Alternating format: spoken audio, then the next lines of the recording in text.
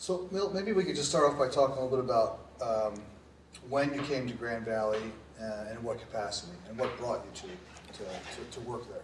I came to Grand Valley in 1973. That's when I moved to Michigan.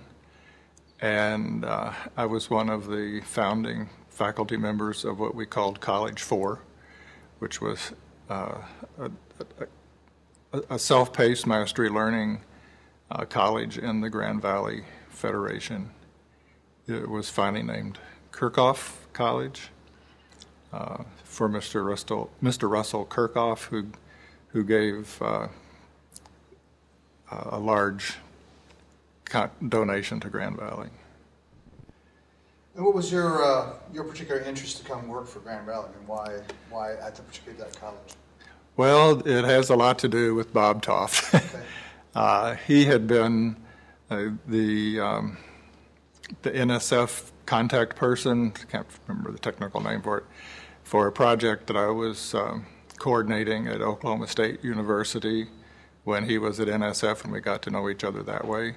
He put together a big dream for a college pulling together some of the uh, many educational uh, approaches that he was seeing at NSF and made a, a pitch to Grand Valley uh, to to launch that college. And I was the first or second person that he hired because I was doing a lot of what he was going to do at Grand Valley at Oklahoma State. But he had put together more, a more comprehensive uh, uh, college situation where students weren't bound by by time or pace or those kinds of things. They could come to college on rainy days and do road construction when they when that was available. This is the same time that William James and Thomas Jefferson. Those were those were in full tilt. Okay. College Four was the last new uh, college in the federation. Because these different aspects of different colleges, uh, I don't know what was at that time Grand Valley State College, uh, was, very forward thinking, very progressive, uh, very open minded, sort of very alternative in terms of an educational model. I mean, how much, in your experience, did that have an influence in Grand Valley being maybe again a little bit ahead of the curve in terms of West Michigan universities or schools about grappling with the issues around LGBT uh, issues? Well, I would have to separate those those two. Grand Valley was way ahead of the curve in terms of innovative education. It uh, had one of the best uh, AV uh, setups of, of, any college in the country. Every classroom uh, in the in the college was was wired into a to a central audio visual from from which they could could uh, pipe relay movies, films, videos, whatever and Grand Valley has, has kind of stayed a, a, ahead of the curve in, in technology. I would say we caught up with the curve in terms of LGBT because for uh, political and financial reasons, uh, I think Grand Valley, I, I, can honestly say, almost had to be uh, careful, cautious, conservative uh, with regard to LGBT. And say a little more about why, why that's the case? Why do you think it had to be cautious or conservative about those kinds of issues? I mean, what, what kind of climate would sort of, you know, sort of determine that that was the direction you think it should take? Well, politi- politically and religiously conservative uh, is are the are the words that still describe uh, West Michigan. Uh, from my perspective, it is it's opening up some, uh, becoming uh, uh, progressive is too much, but uh, it's moving. It's moving in that direction, uh, and it's it's moving to a point where it can include uh, the LGBT community community and be less afraid of us. Um, in in terms of maybe people boycotting the university if if if they include us explicitly. Uh, there was a long period of time where the words gay, lesbian, bisexual, transgender did not appear anywhere uh, on Grand Valley's campus or, or in the literature. I think the very first time that LGBT occurred in, uh, uh, in any Grand Valley literature was with the LGBT scholarship that uh, my partner Gary Van Harn and others put together. That was a that was a real coup. And part of the way that we made friends with, with Grand Valley was to um, become involved in fundraising and uh, that part of the university. What year did that take place? When you were mentioning one, Gary, sort of that, that sort of like, That must have been about 04, 05. okay. Uh, You know, and again, as a, as a faculty person, when, when was the kind of the earliest efforts to sort of kind of have conversations with other faculty, um, to start sort of working towards creating some kind of a structure or a mechanism that would allow faculty and staff and then eventually students to, to be uh, open about their identities? Well, that's a that's a fairly a longer history than uh, than people might realize. When I came to Grand Valley in 1973, I saw a sign posted for a meeting of the Gay Alliance, and uh, later through uh, through Jim Toy at uh, at uh, the University of Michigan, I found I he, he sent me uh, a Lanthorn announcement, I think that dated back to 1972. Uh, come see a come have a conversation with a real live homosexual at uh, at this uh, assigned meeting place at Grand Valley. So there there was something. There was it was way underground, but but uh, but there was already uh, people uh, reaching toward each other and, and toward community and trying to have a life and identity uh, uh, at uh, campus. About 20 years ago, uh, Gloria Tate established the Allies and Advocates. And Allies and Advocates is an organization of faculty and staff to train faculty and staff to be aware of student needs and to be comfortable with students if they would come to them with uh, an LGBT question. And that's still uh, an ongoing, very active organization. And about the same time, the student organization Out and About uh, was formed.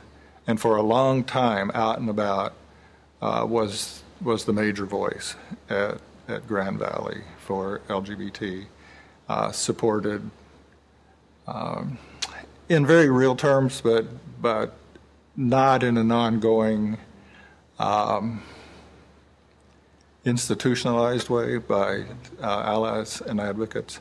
Uh, out and about was the you know the every week, every every occasion presence of uh, LGBT at, at Grand Valley. Uh, when I came on the scene, I was asked very much to my pleasure to be uh, faculty advisor to Out and About.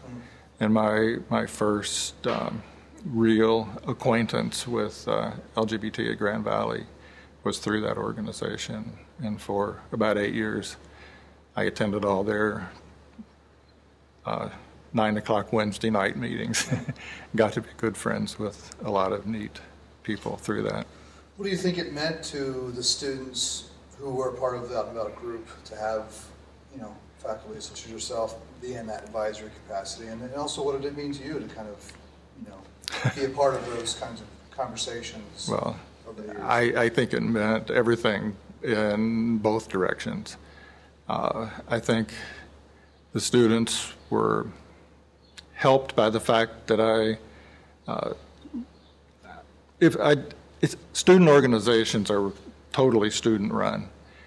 And I didn't have to learn that the hard way. I just, I, I, I figured that out. So at many of those meetings, I said nothing. Uh, but I soon caught on to the fact that it was just very important for me to be there. uh, showing uh, support faculty and in that, in, the, in that way institutional support for them.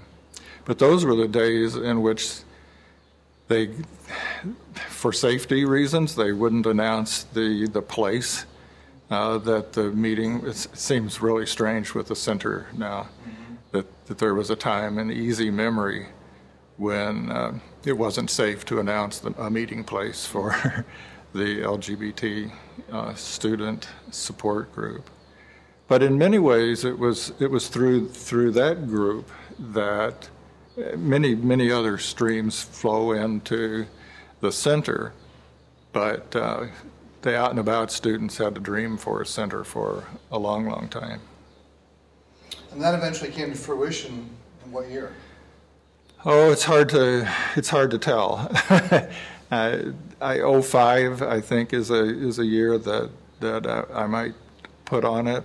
Uh, that was when I moved to uh, the College of uh, Interdisciplinary Studies, now Brooks College of Interdisciplinary Studies, uh, and joined that faculty full time. I had been uh, before that in the English department for for many years, um, but I, I, moved to uh, Brooks College. I'll just call it that because that's what it is now. Because I felt like I would have uh, easier access to, to students and they would have easier access to me, partly just because of the physical way the office was set up. And uh, we were able by that time to put uh, LGBT resources uh, on my door, uh, Lib Studies faculty and LGBT resources. But we still couldn't call it a center or an office mm-hmm. or anything that, that was that permanent. So for two two years, three years. So when I moved into my new office in what is now Brooks College, I had on my door not only Milt Ford Lib Studies, but LGBT, lesbian, gay, bisexual, transgender resources. And so not, what now we not only had a now we not only had a scholarship that was listed in the catalog, but we had a door with uh, LGBT on it. And soon, soon after that, there were pl- plans developed for uh, the new wing on uh, Kirkhof Center, which was to, to house some of the student services. And we started planning uh, to transfer the uh, LGBT resources from my office to, to that building. And it worked out uh, through the efforts of a lot of people uh, including Bart Merkel, the Dean of Students, that uh, we moved in in uh, the fall of 08, we moved into the space that had previously been the Women's Center. And now we have a 1,500 foot full time LGBT resource center right in the, uh, in the, just off of the main traffic flow of the campus center, which to me is perfect. It's it's a little bit around the corner for for people for whom that's important, but it's right there at the flow uh, for the convenience of students to drop in. There's also been some evolution and progress made in terms of what's offered at, the academic level, right? And my understanding that uh, even kind of moving towards sort of a, a queer theory being taught, and that there even being a minor being potentially being offered? I mean, can you say something about that sort of progression in terms of, from an academic point of view, what kind of classes have been offered to, to students? From the academic perspective, the the very current pre- present is a proposal of uh, an LGBTQ minor, uh, which would be in the Women and Gender Studies department or program. Uh, we've been teaching courses uh, really all over the university in terms of criminal justice and uh, health and various things, uh, as well as in women and gender studies and lib studies, uh, an, an intro to lesbian and gay studies, which I've been teaching for about 10 years, and even longer, a course which is still has the strange name of uh, understanding the gay life cycle. We're looking for a new name for that, like understanding LGBT life or something like Mhm. that, because there re- really isn't a LGBT life cycle Mm. like worms and butterbean, lima beans. Right. So I always get to laugh about that the first, first night of class. Mhm. Um, But uh, those, all those courses will, will be folded in uh, with the addition of one new course uh, called Queer Theory. And queer theory is an important development uh, academically because it's where uh, women's studies and postmodern studies have focused on LGBT queer is- issues. And uh, it's a very well established discipline now. And when students take uh, the intro to LGBT studies, they, they will get a good um, background of history and what it was like to be individuals at different points in, uh, in history. That They'll look at, at the medical issues, they'll look at AIDS, they'll look at the various uh, stages toward uh, equality, which is still a work in, in progress. And then in the uh, queer theory course, they will take a look at um, the way theorists look at uh, uh, sex, gender, and identity experience. And that will be uh, another kind of orientation to uh, and a deepening of understanding of LGBT lives. We're very excited about that. Yeah, That's great. Uh, There's been efforts for years to try to get, uh, for, um, for faculty and staff to get domestic partner benefits as part of the uh, labor benefits uh, for, for employees of, of the university. Uh, Were you involved at all in, in, in any of those campaigns to, to, to achieve that, that, that goal? I was involved in what I see as the first round or the, the, the last part of the first round. Uh, uh, President Lubbers had had an advisory group for, for many years uh, that worked effort with, with great effort toward, uh, toward domestic partner benefits. And the thing I haven't said yet is that I just came out. Uh, I got divorced and came out about 15 years ago. And that almost immediately became a very hot and interesting item at, at Grand Valley. So I not only became faculty advisor to Out and About, but I came one, became one of the major spokespersons for the LGBT, uh, for the domestic partner benefits. And I came out to many people on television, radio, and newspapers. It was when I when I came out, I, I came out. Some people talk about flaming out of the closet, and that's what I did. I had I had done a lot of work internally, and and when I came out, I was ready to be a part of the community and to do what I could to to move us forward. As best my understanding, there was certainly some resistance to that earlier campaign in the mid-90s or so to, to get domestic partner benefits. Yes, there was resistance to to the to the extent that it was uh, it did not come to fruition. Then it was taken off the table for about ten years. Was that resistance kind of internal, just folks within the campus community that was sort of resisting, or were there external forces that sort of? My read of the situation is is, that the campus has basically always supported uh, domestic partner benefits, and it's the um, some of the en- environmental uh, folks that that have had serious problems with it, and and uh, it is it is a cultural change, and and you can't pretend like there's there's no sense or background in in in, in people's uh, resistance or, or hesitance, but it was it was very it was very real, and the community I would I would put it this way: the community was just not ready to go along with with Grand Valley at that at that time and I see it as a huge step forward, both for the community and for and for Grand Valley. That two two years ago, two and a half, I guess it was two, maybe two years ago this summer, maybe it was three years ago.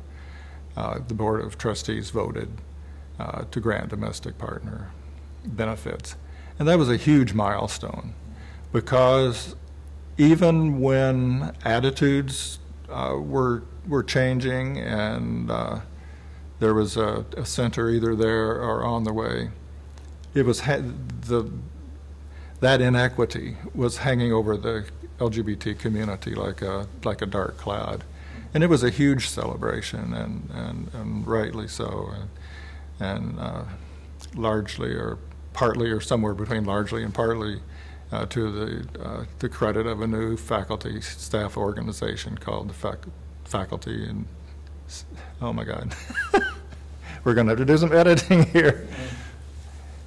It was uh,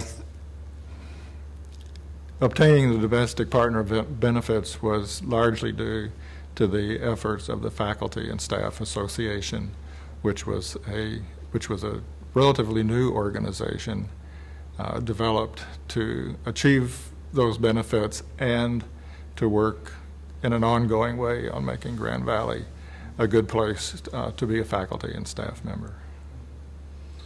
You were mentioning we were talking about the some of the classes that you that you, you particularly teach about helping students understand sort of the history of the LGBT community in, within the U.S. or in the world, for that matter. For that matter. Uh, how important is it for them to understand it in terms of just West Michigan or even just at Grand Valley itself, considering the significant changes that have happened over the last couple of decades. I mean, just from the point where there was no resource center, there was no courses before offered, that it was difficult for anybody to be out uh, as a as a as, a, as an anything, uh, as an anything, as a, you know, mm-hmm. as a faculty member or student or anything.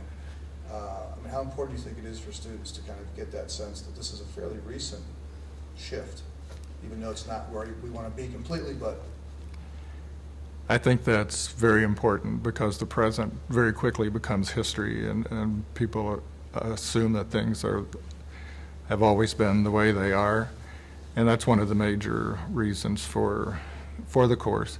But I, I really don't put it explicitly in the West Michigan Grand Valley context. I, I put it in the uh, almost in an international and, and, uh, national context of, uh, of the movement of uh, various attempts to define LGBT identity, to go through the disappointment of having that criminal, criminal, criminalized and pathologized. And uh, we talk a lot about uh, the homophile movement, which preceded Stonewall. Uh, uh, the gay liberation didn't wasn't born uh, full grown at uh, at Stonewall. There was a lot of work before then, but it was in retrospect it was very modest and, and, and very small. So Stonewall was the the gay shot heard around the world right. kind of right. thing, and uh, it's very it's very important to put all that in in context. And inevitably, I talk about what is going on has gone on at, at Grand Valley. Uh, I find it a little bit hard, just because I am who I am, uh, to talk very much about my role in that. And uh, recently I've published uh, two books. Uh, one, a theoretical research book on um, gay men in heterosexual marriage. Uh, that was uh, uh, 09, and then in 10 I published a novel that I've been working on for 20 years, uh, which is a very fictionalized uh, version of my coming out story. And I, I go through whole classes without, without mentioning uh, either of those books. And then when I, when I do, students say, you should talk more about, you should talk more about what you've done. And uh, that makes you more of a resource for us. So since they put it that way, I've I've been talking more about my about my role in, in these things in, in West Michigan and Grand Valley. But the courses are in basically in the in the context of uh, a, the larger movements and scholarship. Since you mentioned Stonewall, some other historical sort of, you know, watershed moments, So I'm just wondering in terms of that, you know, Stonewall or the HIV AIDS crisis of the eighties or other national campaigns around, you know, marriage equality or other, other issues. Have you- Have you seen, um, have those kinds of national struggles in any way been manifested uh, on, at the local level? Do you think they've influenced people's ability to feel like maybe there's more space for them to kind of take on the same kind of issues even in West Michigan because there are clearly organizations around the country who are, who are grappling with the same kind of stuff? I think it it gives the the national movements and uh, and gains give West Michigan people more permission to be themselves, uh, to maybe claim a, a gay or lesbian, bisexual, transgender identity a little more quickly than than they would have uh, before. Uh, I know that that, that, that manifests, well, it, it manifests itself in all areas of the community, but very dramatically in the transgender community. Uh, when I started working with uh, Out and About as a faculty advisor, there, there was not one single transgender student identifying. We know that they were statistically, demographically, they have to have been at Grand Valley but no one was uh, feeling comfortable enough to, to identify. Now we have an organi- we have a student organization explicitly uh, for uh, trans transgender students created their their organization Mhm. to to support themselves. And the last class that I had had uh, four transgender Mm. identifying transgender people in it. So the, uh, I think that that's a that that's a reflection both of national growth and certainly of Grand Valley growth. I, there, I, people are identifying uh, and participating uh, because we've created a visibly friendly, supportive environment at Grand Valley. Could you talk a little bit about maybe the relationship to, um, you know, Grand Valley as an institution and the sort of the gains that have been made there and, and as, and then with, with Grand Rapids itself? So I'm just wondering how much interaction there has been or influence that, you know, people, uh, students or faculty or staff on campus have had on, you know, organizations like the network or the, you know, the pride celebrations or any other dynamics that have happened in West Michigan, uh, you know, the men's choir, those kinds of things, uh, how much sort of overlap or, you know, intersectionality takes place there in terms of, of people, um, uh, you know, seeing what Grand Valley's doing and what, Yeah. what's happening in Grand Rapids. I, I wish I could say more about the uh, Grand Rapids part. I'm I'm a member of the network and and and support it, and uh, I'm really glad that it's there and it and it's it's doing good work. Uh, but I, I'm I'm just more comfortable with uh, my knowledge and experience at Grand Valley, and the way I think I can answer this question of. Um, the Grand, the Grand Rapids, Grand Valley relationship is that for a long time it was frustrating to the LGBT community at Grand Valley to feel that we were totally uh, following the lead of the community. And we had the sense that in, in this area, as, as in many areas, the uni- the state the state university in the area should be taking the lead, and I think in the last five years that uh, that balance has tipped, and I see that Grand Valley is is now taking the lead in uh, in West Michigan for an under an understanding and acceptance and integration of LGBT life into the community.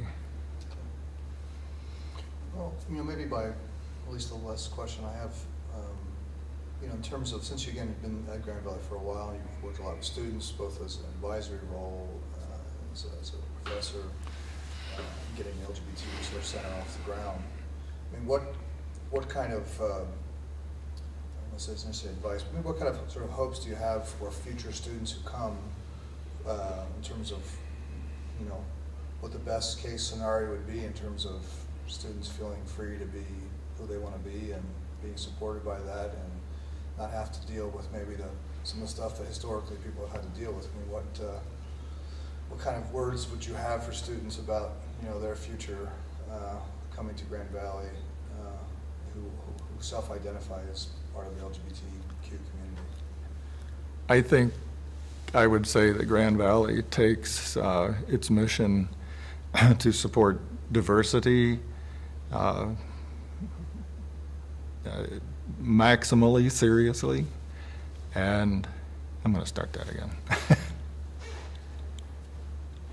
I would, I would say to an LGBT student looking at Grand Valley that Grand Valley would give them uh, maximum support in, in terms of uh, a feeling of safety on campus, organizations to participate in, uh, accommodations with, uh, with uh, living assignments that would work for them where they are, if, if specifically in, uh, in transgender experience.